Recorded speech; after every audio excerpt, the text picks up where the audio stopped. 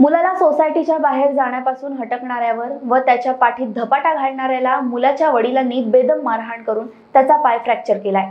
ही घटना गिट्टी खदान पोलीस ठाण्याच्या हद्दीतील आरमोरा टाउन परिसरात मंगळवारी दुपारी तीन वाजताच्या सुमारास घडली. जखमी व फिर्यादी ताराचंद मंगलदीप बघेल हे सुरक्षा रक्षक असून ते आरमोरा टाउनमध्ये काम करतात. सोसायटीतील मुलांना बाहेर जाऊ द्यायचे नाही असे त्यांना सांगण्यात आले होते. आरोपी हरपाल सिंग बलविंदर सिंग नाहता. हे त्यांच्या कुटुंबियांसह या सोसायटीत राहतात. त्यांचा मुलगा आनंद हा बाहेर जात होता. यावेळी बघेल याने त्याला बाहेर जाण्यास मनाई केल्याने अंगदने त्याचा अपशब्द बोलून अपमान केला. यावर बघेलने त्याच्या पाठीत एक धपाटा घातला. मुलगा रडत वडिलांकडे गेला. यावरून मुलाचे वडील हरपालने बघेल यांना शिविगाळ केली व मारहाण केली.